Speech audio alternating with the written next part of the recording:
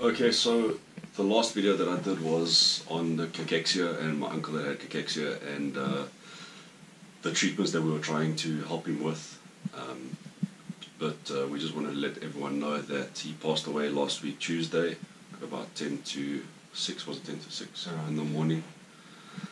And uh, it was from the cachexia and the malnutrition, and there's not a lot of information on it. Um. Yeah, I just want to just say thank you to everybody for, for your love and support.